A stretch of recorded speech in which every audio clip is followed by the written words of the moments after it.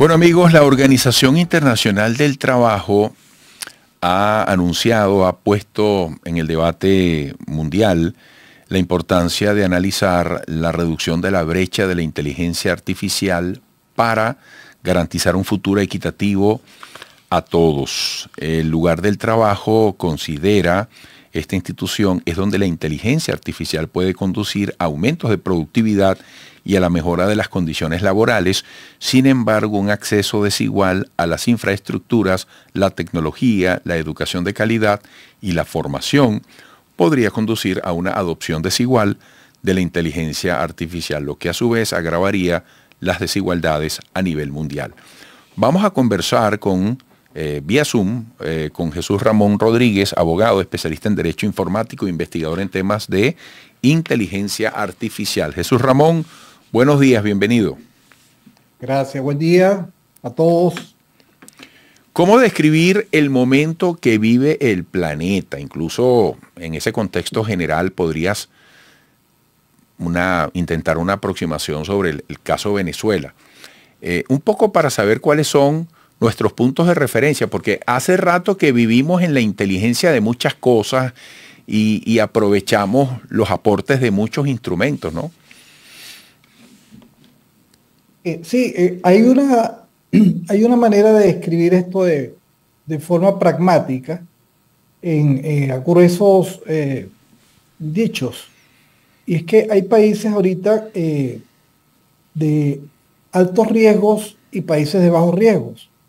Hay países que están en, en posibilidad de, de, tener altos ingresos y países que tengan menos ingresos, que serían rezagados y y quedarían pues en un atraso si no se incorpora esto de las inteligencias artificiales como parte de un proceso de desarrollo de país. Siempre vamos a, a estar dirigidos a cómo es que un país como este Venezuela se puede incorporar dentro de un proceso de productividad e innovación que alcance a las mayorías y que tenga referentes que den sustentabilidad a estas nuevas tecnologías y que incorporen a todo un país para una producción y para un desarrollo.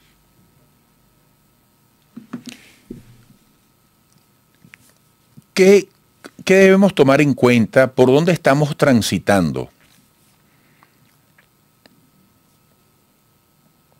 Estamos yo creo que estamos en la etapa en la cual estamos experimentando eh, de manera aislada estos procesos de beneficio que dan las inteligencias artificiales, en la cual quienes tienen posibilidades y tienen visión de lo que esto es capaz eh, para que se puedan acelerar los procesos, para que pueda entonces tenerse un mayor ingreso como empresa, y tener la visión de que hay que capacitar a la gente, pues estas personas tendrán un mayor beneficio y estas empresas tendrán un mayor logro y, e irán en la sustentabilidad de sus proyectos. Porque todo empresario tiene el temor de, dirigir sus, eh, sus inversiones a que no tengan una sustentabilidad. Y e invertir en infraestructura e invertir, invertir en recursos humanos que no le van a reportar en, a corto y a mediano plazo, en el caso venezolano, una, eh, una forma de decir que esto es viable para mí como empresa. Entonces, lo que son los temas de infraestructura, eh, capacitación, eh, formación, tiene que ir en función de ello. Y en los primeros tiempos se irá a una funcionalidad casi autómata, donde se toman incluso extraterritorialmente empresas y compañías que van a aportar nuevos valores para que los empresarios puedan desenvolverse. Pero que hay que tener presente de que quienes tengan visión ahorita van a poder ubicarse y proyectarse en los próximos años dentro de un sistema y un mercado exigente en la competitividad de acceso a la información, a los datos, a las plataformas de tecnologías, tecnologías de información y comunicación. Sobre ese punto, ¿hay condiciones, hay gente para estas capacidades que tú estás detallando se necesitan? En Venezuela, por ejemplo.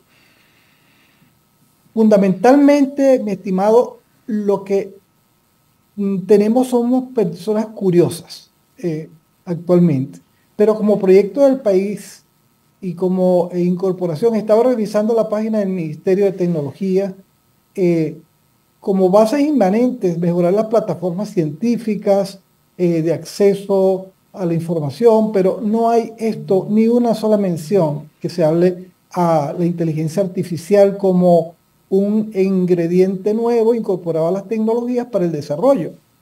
Este, y esto es una cosa sumamente preocupante, porque eh, hay, hay la frase que está corriendo por todos lados que dice que la inteligencia artificial le va a quitar el trabajo a la gente. Y realmente no es así. Eh, lo que ocurre es que sí lo van a hacer las empresas y las personas que tengan la visión de cómo utilizar de manera más adecuada y más productiva estas nuevas herramientas. Que dentro de 10 años eso va a estar inmanente ni, ni se va a conversar sobre eso porque va a ser parte del desarrollo y parte de la actividad ordinaria de las organizaciones y de las personas. En Europa eh, tienen ya sus normativas recientes de este año. En Estados Unidos del año pasado eh, hubo SWAT antes de ir a una reunión que hubo en el Reino Unido en el mes de octubre. Entonces hay los procesos normativos mínimos para poder propiciar estas plataformas de desarrollo en todos los ámbitos, porque es transversal para toda la actividad que desarrolla humanamente un país. Bueno, Jesús Ramón, gracias como siempre. Mira, rápidamente, ¿cómo te puede seguir la gente en las redes sociales?